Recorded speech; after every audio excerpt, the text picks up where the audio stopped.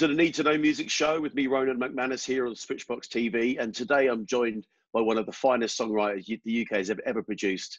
Justin Currie and his band Del Amitri have been a huge influence on me personally in my songwriting, so it's absolute joy for me. Um, I'm delighted to be joined by him now. Uh, Justin, how are you? I'm good. How are you, Ronan? Yeah, I'm good. I'm good. Uh, how's uh, this year been so far? Um, well, as weird as everybody else's, I guess. Um, uh, yeah, a few days of panic and then a few days of just oh, who gives a damn, you know. Um, yeah. I mean, we were we were Del Amitri were lucky in that we finished this album that we made the day before lockdown. So we drove home on the Sunday and everything locked down on the Monday. In fact, we got the gear out on the Friday and then we the, the uh, me and Ian drove home on the Sunday. And then we it, what was odd was we then had to remote mix it with a, a producer called Dan Austin, brilliant producer, but we hadn't worked with him before. So getting our heads around how he worked and the kind of things we wanted was really difficult doing it remotely. Um, I was going to say, was he was he doing was he doing mixes and sending them, and then then he was doing was happening because he was working from home as well. So you would get mixes at midnight, so you were kind of always on. You were always you'd be watching the telly, and then bing, oh Christ, I am going to listen to these mixes. Um, and you would get four at a time, and it, it, it, just became, it took months to mix. Just because we weren't there. We weren't there seeing exactly what he was doing. Um, yeah. Uh, and eventually what we did was, he, Dan found this brilliant bit of um, software which creates a platform that, that allowed him to stream 24-bit files in real time. So we can, and then we just set up a Zoom call like this, and then we would just say to him, right, okay, can we just move that a bit or change that a bit? So uh, they in the end, time down. Yeah. In the end, we, we did like a sort of 12 hour Zoom call and we got it all sorted out. So if only we'd kind of done that earlier on, it wouldn't take so long to mix. But other than that, lockdown's it's been fine. Yeah. So have you been doing any sort of um, any sort of live things or anything like that? Have you done any sort of streams and things like that? I've done a few, but it's just the quality's so low. You know, you just I'm just using my phone camera because I don't have I don't have that sort of technical setup to to record video particularly well. So I've tried to limit that to things as much as possible. Um, I've done a few. I've done maybe three or something, and I've turned quite a lot down. Yeah, it's just it's, it can be a bit of a nightmare with that. I mean, I started off doing some live streams, and um, I mean, I'm a also, I do Irish music as well as sort of rock and uh, yeah. music stuff. So here, you kind of hit just on St Patrick's Week. So it was the, the worst, the worst time possible for Irish musicians. Yeah. So I did a few things just on the phone, and I've kind of kind of developed it just for that reason um, through software to try and get something that resembles a, a, a, a decent sound. decent sound, yeah. It's just a bit. So have you have you got a way of getting decent mics into your phone? Well, I've just I don't use the phone. I go to the laptop, and I've found right. like a like a some, some free. It's all free software, uh-huh. um, but it's so yeah, you can go through a desk and into your into your thing, and it's just kind of for me, you've got a bit of reverb and a bit of a bit of and you can put graphics on the screen and stuff. So yeah, right. a, it takes a little bit of fiddling around, but got there in the end. So yeah, we're trying to trying to up the game with that one a bit. It's been one of the one of the it's been one of the sort of challenges of lockdown, I think.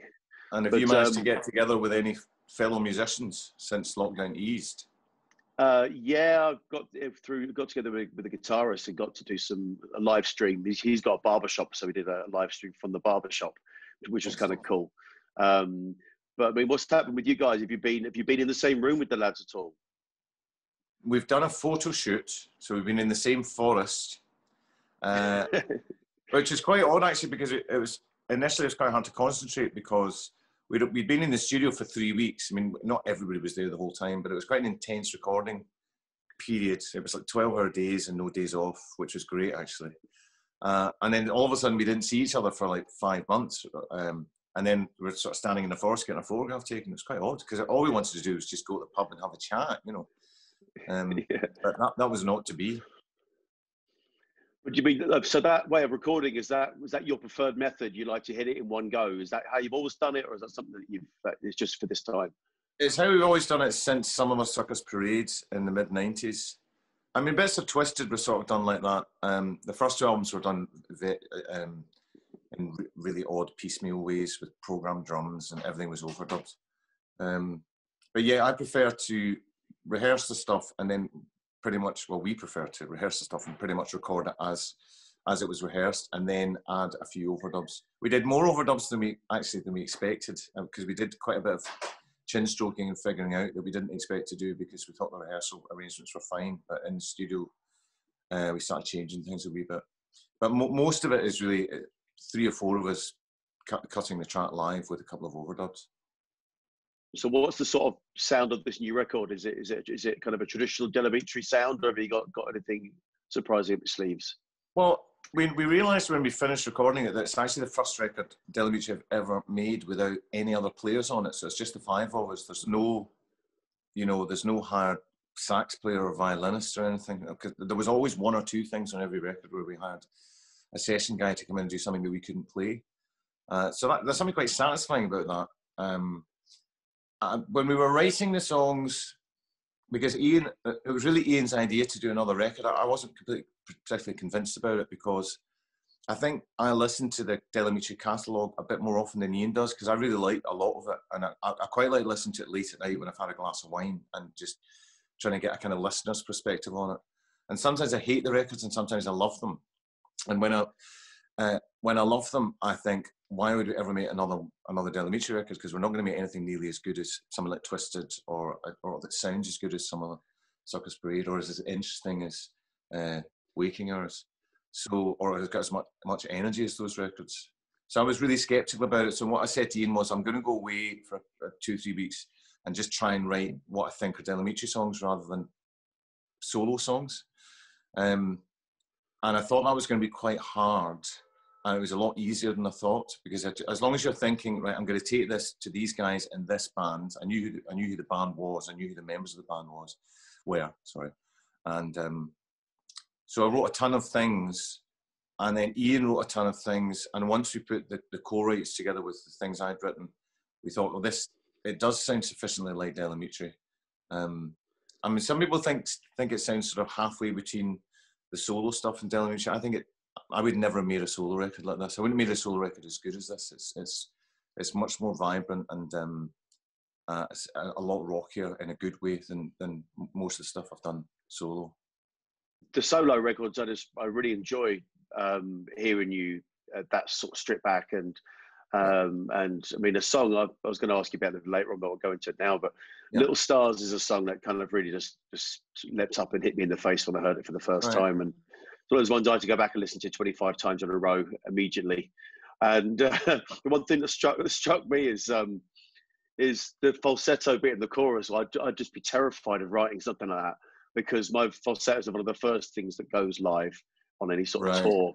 How do you how do you find the challenges of of touring and and you know do you, do you ever have thoughts of will I will I will I have that in the in the song? Do you have thoughts of live or how you might cope with that? Yeah, I mean, not when I'm writing, um, but if we if we write something and record it, I'll know pretty soon if it's a a, a voice wrecker. There's there's things.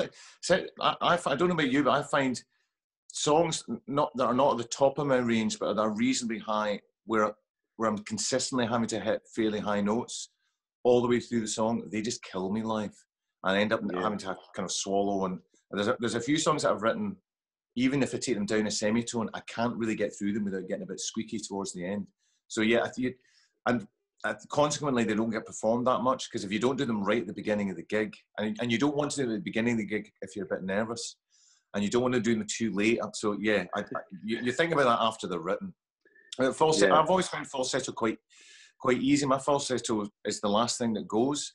But the funny thing, I'm getting older. I'm 55 now, and in the last, I would say, six years, I didn't have I didn't have many problems in my 40s, but the last six seven years, um, I've lost about four notes off the top of my falsetto because I used to be able to sing like kind of girl backing vocal parts.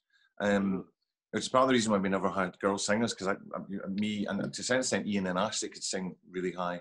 And in fact, they, they can still sing really high, but I've lost yeah, I've lost at least five notes from from the top of my falsetto. So, so I've only got about four notes left in falsetto. so you might find uh, the outro here and now is going to be uh, going to might might find some girls in the back the back. end. Well, I can't I can't hit that consistently anymore. So when we do it live, I get asked to do the, the lead line and I do the harmony below it. Um, right. I was talking to um, Hamish from AWB, and they, they used to sing a lot of stuff in falsetto. And uh, we were at a jazz club a few years ago, and he said to me, because we were talking about this and our aging voices all, and he sang that night and his voice sounded absolutely amazing. I thought, and he's what maybe ten, maybe fifteen years older than me, maybe a bit less. Um, but he said to me, "I, I did something about saving my falsetto," and I was about to say to him, "What, what, what is it?" So he must have found a way of some way of exercising or something or some way of using it uh, where uh, he, he didn't lose the notes that you that you naturally lose with age. And then he turned to me and started talking to somebody else, and I never I never found out what it was. You know? And the and the secret of life is, and then he yeah. interrupted like. yeah. If you ever if you ever get to the bottom of that, then uh, then you know drop us a line. I'd be interested yeah. to know. Will do.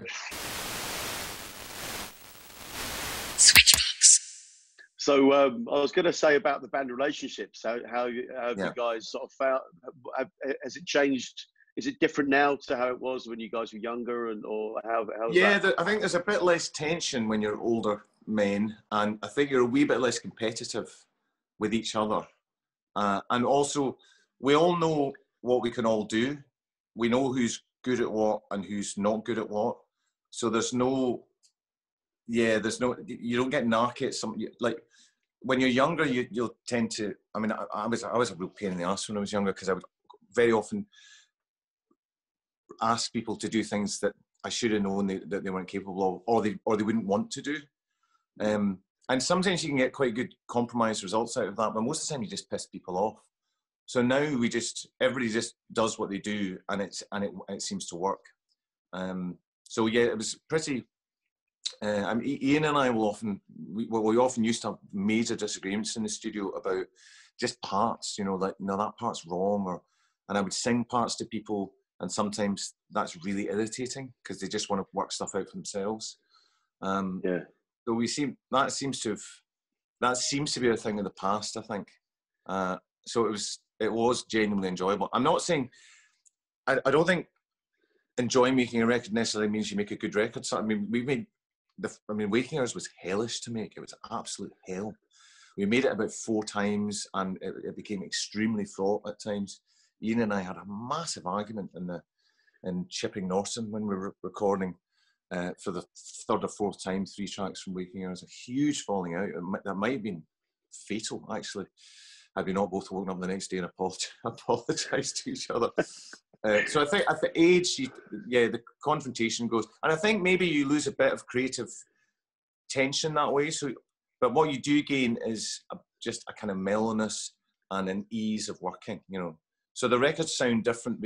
The records are less frenetic and less, they're a bit less forced. So I think we've lost, we've definitely lost energy, but I think we've gained a kind of, um, uh, just I, I, think I think this record's slightly easier to listen to than some of the earlier stuff, which is which is just a bunch of boys really trying to prove they're good. Whereas now we're not really trying to prove anything. We just think, like, this is a good song and that's that's a good arrangement. That should be on the record. I think it'd be like I can see what you know. Waking Hours was a big record for you guys, wasn't it? Because you'd yeah. had the and you'd had the the eponymous uh, one. They kind of had you.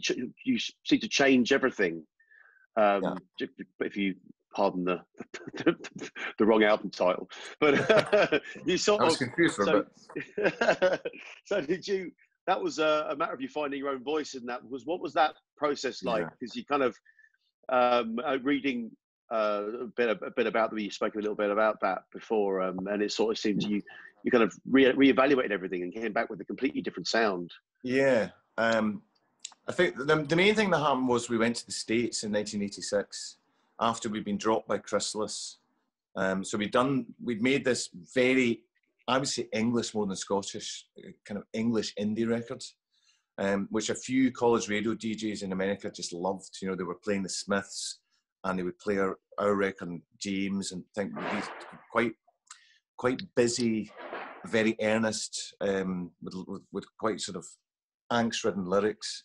So we were kind of part of the tail end of that scene in America, that college radio scene in America. And then what happened was we got dropped by Chrysalis. We spent the last 2,000 quid that we had on air tickets to America. And we stayed with fans, well, mainly fans' parents, but um, some of the fans were old enough to have their own apartments. Um, and just sort of lived with American families and then drove thousands of miles between, or hundreds of miles, uh, multiples of hundreds of miles between gigs and slept on picnic benches and had this kind of uh, formative experience, you know, in our early 20s, where we were basically hopeless. We were completely impoverished. Um, I mean, we had to ask people to throw money onto the stage at one point because we didn't have enough, money to get us gas from LA to um, Iowa. Uh, and we, the one, the thing that really inspired us about America was we would go into these college radio stations, and they'd be playing REM and you know some real college radio bands that you know I don't know Miracle Legion or something. Uh, but they would also you would speak to these DJs and they were really into music, but they also like really what we we perceived in our punk values as being really uncool things, but they were good uncool things. You know, because we I mean we, we really hated things like Bruce Springsteen and we just thought it was all kind of bombast and um, you talk to these people and you go, oh right, well, there's nothing really wrong with guitar solos, you know. I mean, we like television for God's sake, so why shouldn't we like more mainstream American music? And we started listening to more. Well, we, we also started listening to quite a lot of country music when we came back because at that time there were things happening like Steve Earle and Lyle Lovett and Dwight Yoakam where, where they were kind of refashioning country music and writing really good songs, especially Lyle Lovett, I think. Lyle Lovett and Steve Earle. So we, we kind of naturally became Americanized and we kind of divested ourselves of the of all the sort of punk badges that said this is the only way you can do things. You know, you can't have too many chords and you you can't be showing off and you can't be too good. And also Ian's guitar playing was really developing. He was learning different styles uh, and he was becoming a technically really capable guitar player. And it just seemed a waste not to use that. Um, so I think naturally because we was we started to sound a bit more mid-Atlantic, we um, and then also Ian said to me, "Why don't you write songs on your own rather than us writing everything collectively? Because it will save us a lot of time, which it did. Because it used to take us months to write one song. Um, so I started writing kind of narrative songs that were really influenced by country, and then we started arranging them with pedal steel and bottleneck and things, and it just became a different beast. And we knew what we were doing would be abhorred by quite a lot of people that liked the first album, but we we just thought, well, fuck this, you know, th- th- th- these are mainstream songs they should probably be, be somewhere in the mainstream. So let's not worry about losing a kind of indie crowd because we're not making that kind of music anymore. So it was partly an organic change, and it was just partly something that America did to us. You know, it's like you get it. You used to get it quite a lot in the, in the eighties, where bands would like major bands with label deals and all that sort of stuff would go to America for like three or four months, and they would really cut their teeth in front of these club crowds and theatre crowds and they would come back like a rock band, whereas they started off like a, maybe slightly arty 80s pop band or something. Um, and that's that's effectively what happened to us. You know, the crowds would cheer when there was a, a guitar break, and we thought, God, that's a guitar solo. We didn't even know that was a guitar solo. So we got kind of we got rockified by by the audience in, in America, and we just loved America so much because we were living with real people, working class families, middle class families, you know, people living in tiny little apartments, people living in big houses with pools, uh, and everybody was so gracious and generous. And we thought, God, this is not what we thought America was like. We thought America was just full of like crazy fascists, you know. And uh, we discovered it was full of really enlightened, cultured, you know, and in a lot of cases, very left wing people, uh, or, or surprisingly left wing, um, considering what, what, our preconceptions had been. So yeah, we got Yankified. Um, and so I think that's the, that was the main the main thing that changed us. And I, don't think anybody could really accuse you lyrically of of uh, of going all poppy, and that you know I think there's always been there are stories, kind of dark darker side of life, of the kind of the the sort of um, you can sort of feel the sort of working class roots in it. I think that so that so even though you maybe you're you're going more acoustic guitars and you're going more harmonies and stuff, there's still definitely a um, an edge in there. Um, so yeah. I mean, how did you how did you how did you find that first album was received? Uh, the the the one before we sorry the second album sorry I just yeah. the first album because the first so do I so do I so do I it I sort of feels like a new beginning it's a different sort yeah. of band well almost, we did you know we, we, did think about changing the name and our manager Barbara Shores at the time persuaded us not, us not to because she thought she thought the American audience would stick with us which they did whereas the British audience I mean I'm talking just a few thousand people here you know maybe 15,000 people in the States at the most, and maybe 7,000 people in the UK. So quite a small national audience. Uh, and we lost the vast majority of the British audience because they were kind of, a lot of them are like cool indie kids uh, or real, really intense kind of geeky people that were very intense about the kind of music they listened to and very particular. So they they were just they felt betrayed by the change in the way the American audience didn't. So we decided not to change the name. But in a way, it would have been the first album by, by a band with a different name because it was a different lineup, and it, it did sound very different. Um, yeah. I mean, it was initially it was quite well received because we, we were still a kind of Inkies band, so we still got covered by the NME and Melody Maker, in spite of the fact they kind of wanted to hate us because we from the you know their role is to present is to promote interesting uh, new music, not commercial music, and our music had become more commercial. Um, so initially they were kind of quite kind, and then as soon as we had a hit, I mean, quite rightly actually, they just thought, right, well, get them to fuck because they're they're no longer they're no longer relevant, which we weren't because we were in the charts, and we, all of a sudden we were a Scottish pop band, whereas prior to that we'd been a Glasgow indie band. Yeah, there's some great tracks on that on that album, and um, you know, I think, and then get then into the other. I mean, I I kind of really discovered you guys around the time of Twisted. Really, that's kind of uh, yeah. I really kind of got. Um, and then I went back and rediscovered all those songs that I knew, but I didn't know that I yeah. knew. Yeah. Um, there was some, but those you, you, know those some huge hits in those those those others the two albums, um, Waking Hours and and Change and Change Everything. I mean, how did you find um, sort of touring around that time? Had it picked up a lot in that time, and what was what was the change in you guys? Well, it picked up overnight when Nothing Ever Happens got into the charts, uh, and we did Top of the Pops. Overnight, the gigs went from a few hundred. We were picking up, we were selling maybe 250, 300, 350 tickets in universities. So not not necessarily to fans, just to curious people. Oh, there's a band on tonight in the student union. Um, and then all of a sudden, we were playing to over a thousand people, literally overnight, because we'd been on national TV for a couple of weeks. We'd done all the daytime shows, we did some late night shows.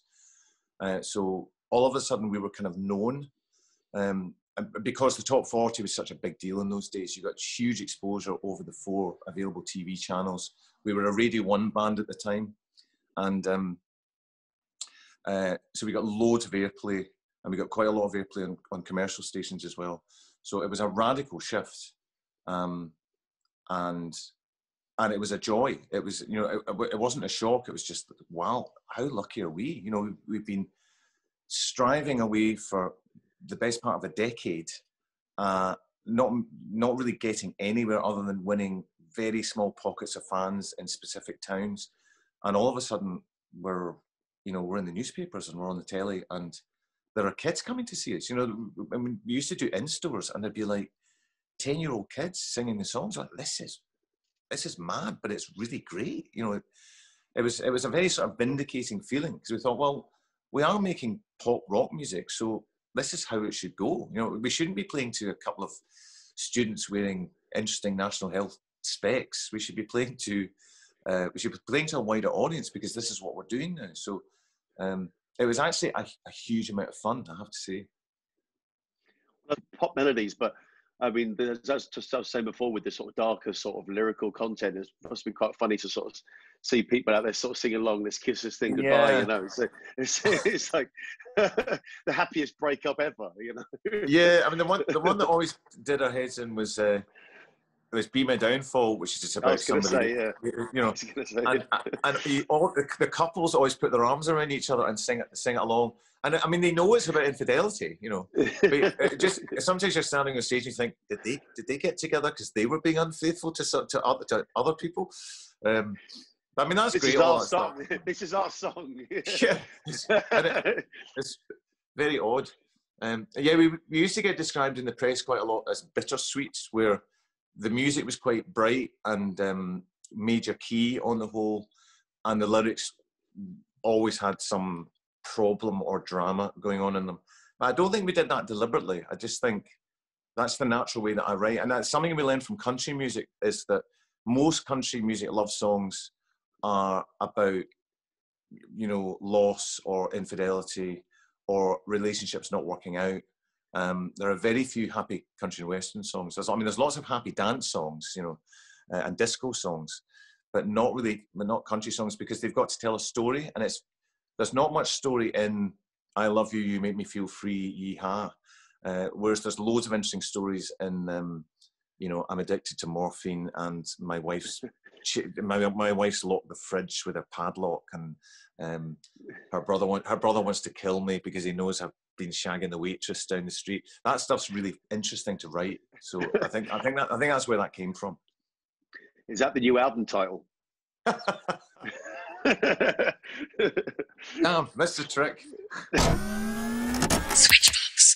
I want to just ask you about a few of the, the songs individually. Is um yeah. Well, generally, I think I feel like you've seem to find emotions and tensions in seemingly ordinary moments. I mean, driving the brakes on, uh, setting a yeah.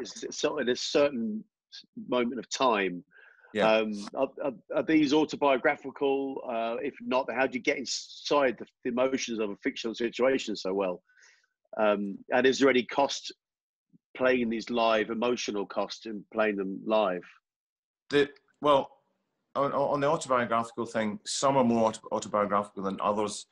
None of them, none of them are 100% autobiographical because you might take a situation from life or you might write something down after being at a party or something or being in a situation that's that's odd uh, but you need to add more drama so there's quite a lot of fiction as, as well and, and quite often as you know yourself you're not you're not singing directly from your own perspective you're singing from a character's perspective that you've kind of so you're looking through their eyes and you're thinking like what would this guy feel like if that happens well that, that could be quite interesting. Um, but people that know you well will know will spot the autobiographical things. And it, that's only tricky. Like if you write a song that's really has specific meaning to you the hardest thing is playing it to the band for the first time. I, mean, I, have actually nearly burst out crying a couple of times playing things to the band because I think this is this is a bit close to the bone because they know what this they, they, know what this shit's about, you know, uh, and that can be sometimes really tricky. Um, but and, and with an audience, by the time you get these songs in front of an audience, you've you've demoed them, you've recorded them, you've rehearsed them, they become a bit more abstract, um, and really. Uh, really all you're doing is trying to hit the notes and remember the words. You're and and you and, and hopefully that's where the emotion for the audience comes from just getting it right rather than because i think if you start um if you start trying to invest a lot of genuine emotion into singing something i, I, I kind of don't think it works. There's a famous aretha franklin thing about where she said soul singing is not about what you give away it's about what you hold back and I think there's a lot of truth in that. You know, if you if you just let rip, I mean, sometimes you do find yourself being emotionally affected on stage because something a thought occurs to you, and you think, "Oh God, that's what that line's about. I've forgotten what that line's about." Um, and you could start losing it a bit, and you just have to rein it back in, or just laugh about something, or look at somebody in the audience that's got a weird look in their face, and then get get grounded in in the reality of it again you you've got to kind of almost set yourself in the in the professionalism of actually getting the job done, so to insulate yeah. yourself from the emotion of it. Yeah, and let let the song do the emotion, and you're really there to entertain the audience. Hopefully, the song will move the audience, but I, I mean, unless you're like a, a free improviser, I think most music is just about get, getting it right in the performance. It's not about channeling some deep well of, of pain or, or, or confusion. I, I, think that, uh, I mean, some people seem to do that, but I, you know, if you listen to Van Morrison or somebody, um, you feel like they're doing that, but I don't, I don't know if they are. I think they're, I think they're just trying to get it right. Yeah, I just sort of think if you if you were to go there every time, I think I think you'd survive one of your tours, would you? Well, I think I kind of think if you look at Amy Amy Winehouse, uh, the extraordinary thing about Amy Winehouse is that every time she performed those songs live, she did them quite differently. And it was obviously, she felt it incumbent upon her as an artist to invest each performance with a, with a new feeling and, and, and new nuances.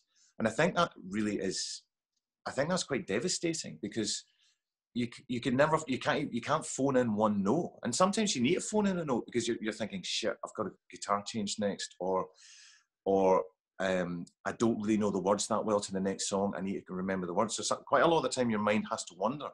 But people, yeah. somebody like Amy, Amy Winehouse was completely invested in the moment and used all sorts of tricks, whether it's drink or whether it emotional turmoil, to kind of channel all that. I think you know it's brilliant, but it's also really risky. I think personally and in terms of the performance, it's really risky. Sleep Instead of Teardrops is one of my all time favourite songs. Um, yeah. And you probably get this question a lot, but um, how was it not included on on the on some of the songs played the first time around? It was a huge mistake when um, when because Ian and I had set out because we, we've been listening to a lot of Teenage Fanclub and we thought let's make a record that's kind of like Teenage Fanclub. But it's a power pop record, not not loads of acoustic guitars, loads of electric guitars, quite chimey and um, with big choruses. So that's what we were trying to do. And of course, right. as usually, nothing goes according to plan. We sort of failed to do that. But I had this big ballads, which we, when we all loved it. Uh, we put strings on it. We did the whole, went the whole nine yards. But when Ian and I were sequencing the records, and there were, I think we'd recorded 17, 18 songs from that record. So to get everything on the vinyl and to sequence it as a power pop record, every time we tried to put Sleep Instead of Teardrops into the sequence, it just created this big hole and everything just fell into the hole of it. And we tried putting it at the end and it didn't make any sense at the end because it was a bit too bleak or something.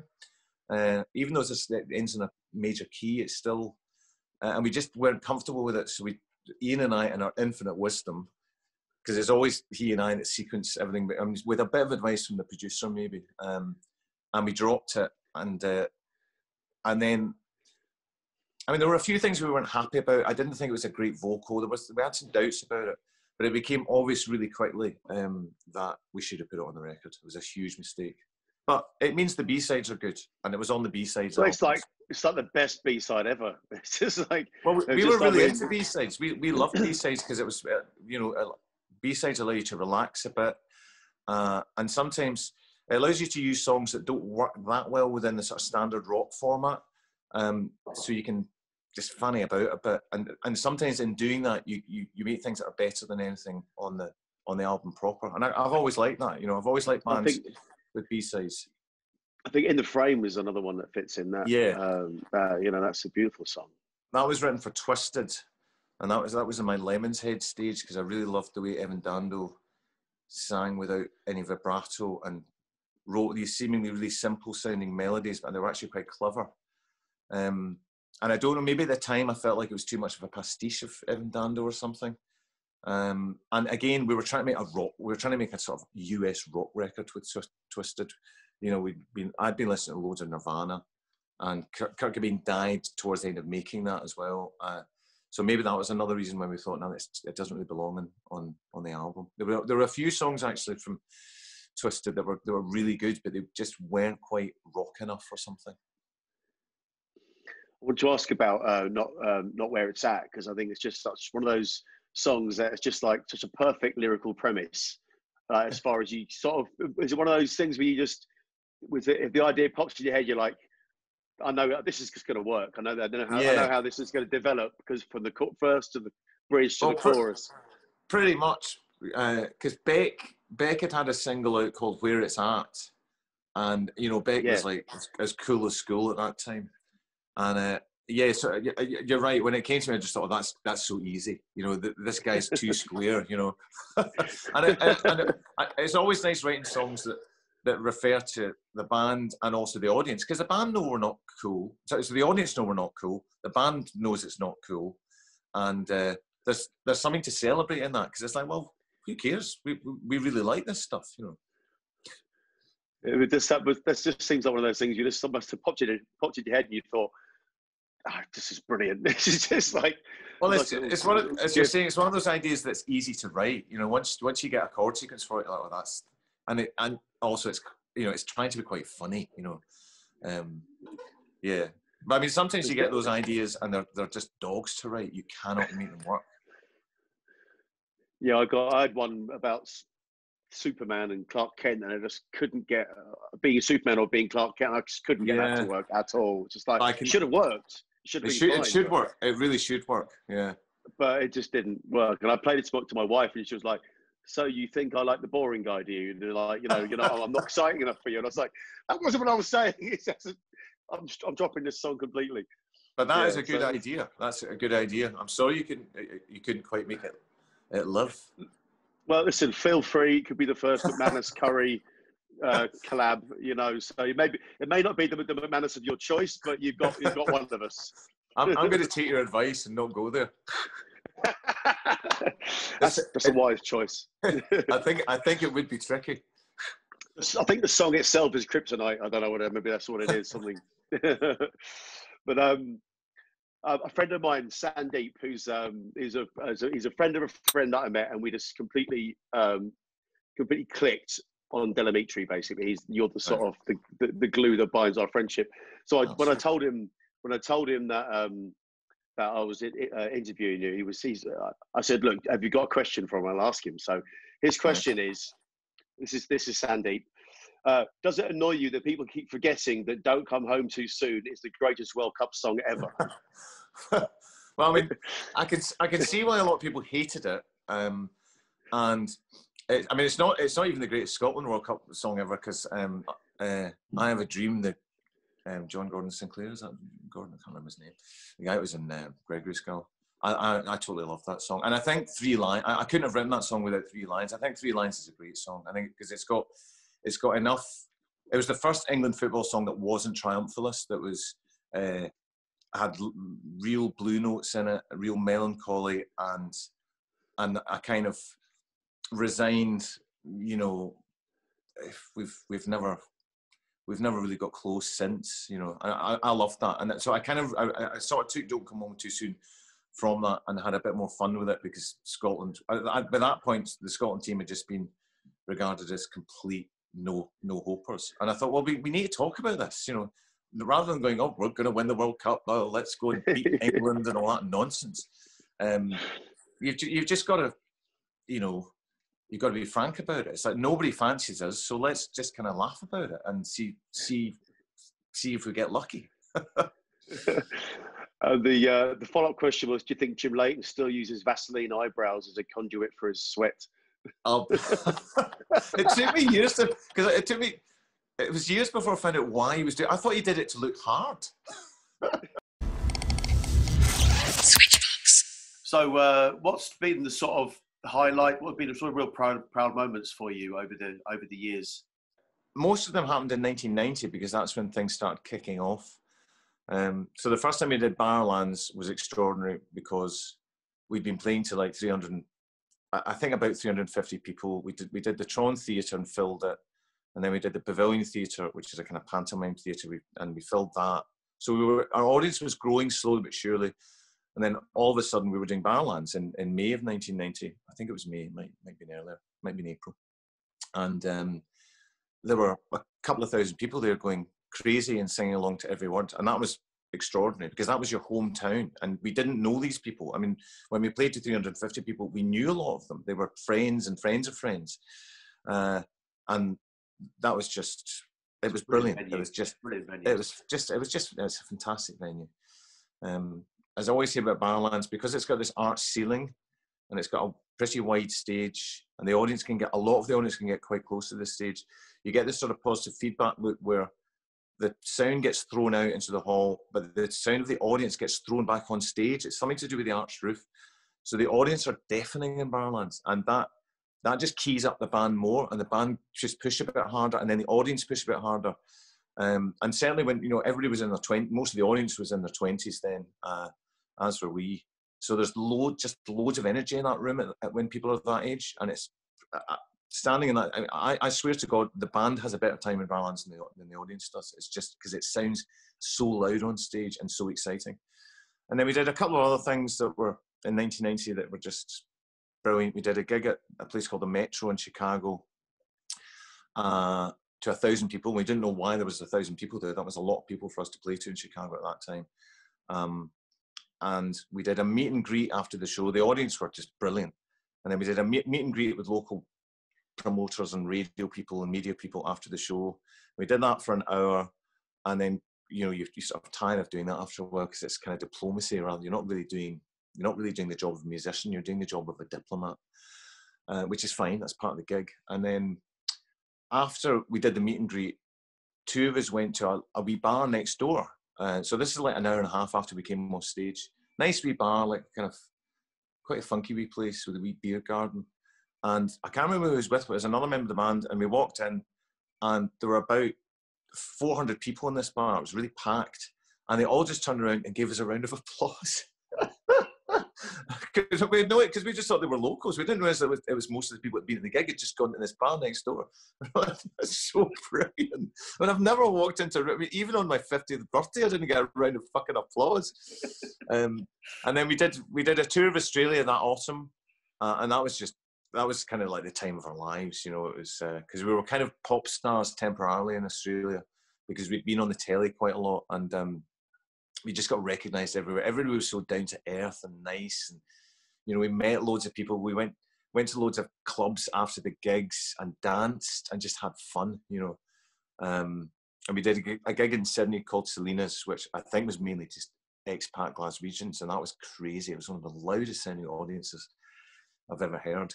So most of it, because 1990, all those things were firsts for us, so everything was really exciting. And then once you start going back to the same venues, you've done them before, and there's there's less excitement. Uh, it's just the first time they happen, things are just extraordinary. So what's the uh, what's the plan going forward? Then you've got the new album completely done. Yeah, uh, and I've uh, heard that it's going to be next year re- release. Yeah, March, April, May, or something. It keeps moving around. Um, but we're, we're going to stick at least one track out on to stream this year. Uh, so there's a song called Close Your Eyes and Think of England, which is uh, coming out in October. Uh, and I think there might be another track. And then we'll start taking songs, sort of singles to radio in, in the new year. I think that's the plan. And is this, uh, there was a talk of a, of a gig for NHS workers in Scotland. Is well, that's still on the. Be, is that going to happen? No, probably not. I don't think anybody thinks. I don't think anybody's got a ticket thinks it's going to happen. Uh, but it's not officially been postponed or rescheduled yet. Um, but we, as, as, soon as we get an official word that it can't go ahead, we'll just immediately reschedule it for next for next year. Uh, I mean, we're booking gigs next June, and you know it's kind of a lottery whether they'll go ahead. And we think the outdoor gigs might go ahead. At the moment, we think there's no reason to believe that indoor shows won't go ahead, but it's everything's so unknown, which makes it really, you know, if, if I mean, I would buy I would buy tickets for things next year. I think, uh, but I would buy the tickets with the with the the knowledge in the back of my mind that they might get they might get postponed.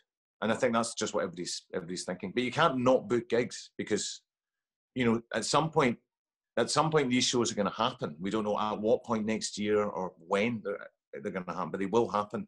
So you've got to book them. You've just got to book them and move them. You can't just go, we'll wait until we get the all clear because then all the venues will be stuffed. You know, they'll just be, you won't get a place in any venue anywhere. And a lot of venues might have gone out of business.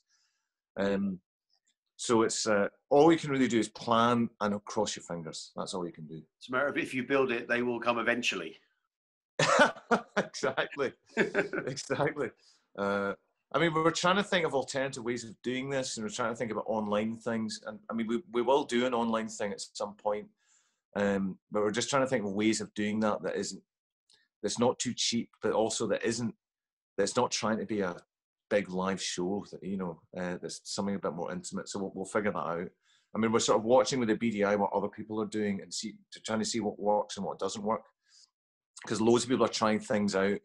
Um, uh, I mean, it's I, I go and see uh, uh, a thing called National Theatre Live quite a lot, where you go to a cinema and they live broadcast a play from the National Theatre, and uh, I, I, was really skeptical about it at first, but as, as, soon as I started going to these things, it does feel like you're there. You know, you feel like you're with that National Theatre audience, and it is a live performance, and it kind of works. So that might have to be that, that might be the way things go for a while because you want you know you want to play. I think we have to find something authentic in some way that that kind yeah. of ticks that box because the live stream, like us now sitting in our front rooms, whatever it is, you know, yeah. like, it doesn't. I think people are bored of seeing people's sofas. You know, I think it's finding something that represents a live gigs in some way. Exactly. There, there, has to be a way of doing that, and and I think yeah. I think anybody's quite found the solution yet, but uh, we will no. continue to search and it's how, you know it's how you can do that and not lose money, and how you can do that and not not be not be charging too much money to the audience because it's not a gig. You know, I mean, I'll, I'll I'll spend forty quid to go and see a gig quite happily, but I'm you know I'm not gonna. We don't want to spend. would I don't want to watch Nick Cave on my computer? Well, I probably would, but I wouldn't want to pay that much money for it because it doesn't. It's not the real experience, you know. So all that needs to be figured out, I think, uh, and you know, people need to find out whether there's actually a market for it, and they need to find, excuse me, using the word market, um, or, and find out whether the audience like it or not. You know, whether whether we like it, whether it feels like a shared experience, or whether it feels like quite a depressing, isolated experience. Switchbox. We always ask for um, a recommendation on this show. Um, is there someone that you that you would recommend people check out they may not have heard of before? I listened to a lot of music after lockdown started, more than I normally would. I was listening to music like four or five hours a day, um, but I've been listening to a lot of um, a lot of archive retro stuff and going through my record collection. And and I subscribed to Tidal recently because I really like the sound quality of it.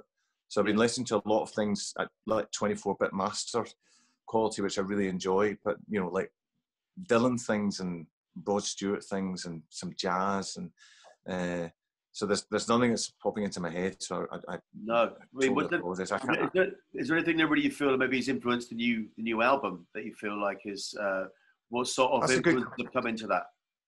That's a good question. I mean, the weird thing about making this new album is that we were we were trying to make a Del record, so we were quite conscious of what we'd done in the past without trying to ape it or copy it. Um, so the this unusually this album usually when we make an album there'll be two or three albums that we want it to sound like or or capture some element of that like listen to the way that's mixed or listen to the way the drums sound on that. On this record this is the first time we didn't have that at all. We we just uh, we just wanted to re- record everything really cleanly and simply. Um, and the, Dan Austin, the producer, is a re- re- brilliant producer, brilliant engineer. Um, he's just over 10 years younger than us, and he'd come out of Bath Mole's studio and he'd worked, when he was really young, he'd worked with quite a lot of the big trip hop artists from Bristol and uh, in the studio in Bath. And so he brought a, a, certain element of that to what we were doing, which initially we, we quite liked. And then when we came to mixing, we actually took most of it out because we thought we were just trying to keep it really simple. So we didn't have a, you know, we didn't have a particular attitude other than just keep it plain and and let's not do anything fancy. Let's just keep it. So we were kind of trying to make a classic pop rock record. One of the things we really referenced on a particular song was the Neil Young album. Everyone knows this is nowhere, which is really simple. It's just four players, most of it, no overdubs, and very quite harsh not brittle but quite harsh guitar sounds because we the, the mixes first started off sounding very warm and and uh, comforting and kind of retro in a sort of 70s sort of way. And we actually went more back to the 60s for the way we approached mixing it. So we were we were definitely listening to stuff from the late 60s rather than stuff from the early 70s where things got a lot warmer and sort of drier. Um, so yeah the, the only thing we directly referenced was um, everyone knows this is nowhere. And actually, I'd been listening to a lot of early Wire. I've been listening to the first three Wire albums, especially the first two Wire albums, which are incredibly dry and simple and very elegant, elegantly uh, arranged records. So that, that was quite an influence as well, uh, certainly for me. Well, thanks so much for joining us here. It's been an absolute pleasure chatting to you. And uh, yeah, sorry, sorry the line dropped out, but we just we were just we were discussing Jim Jim Leighton's eyebrows at the time. Maybe don't, don't mention Jim Leighton's eyebrows. maybe he's got some sort of button. That is yeah. just, yeah. All right. So thanks very much. You know, good luck with the album. I, I really look forward to uh, to hearing it. It's going to be a real uh, real pleasure to to hear the this because uh, it sounds like you you guys are really sort of just it's just you guys on it and it's you you know this yeah. simple approach and it's just like I feel like it's going to be a pure Del It'll be great. Yeah, I mean, I, I really love it. I have to say. Um, so I've got I've got I've got high hopes for not it not being disappointing, even though we're 20 years older or 25 years older. You know, it's it's uh, which is a big change. But I think we've still got we still captured the essence of what of what's what's good about Del Amitri. I don't think we've uh, I don't think we've strayed from the path in any way ways, which was an interesting exercise in its own right. So I I, I personally think we've got it right. Other people may feel like it's it's moved into a different sort of zone. Uh, I don't think so. I think it's still the same ethos, um, really from the first indie album right the way through the, the albums in the nineties. So I hope it I hope it goes down all right with the audience. Oh, I'm sure it will. Um, you've been co- making consistently great music for years, so I don't, don't see any reason why to change Thanks now. Thanks very much, Justin. Thanks for joining us. My pleasure. Loved it. Take care. Speak all right, take care yourself. Cheers now. Bye bye.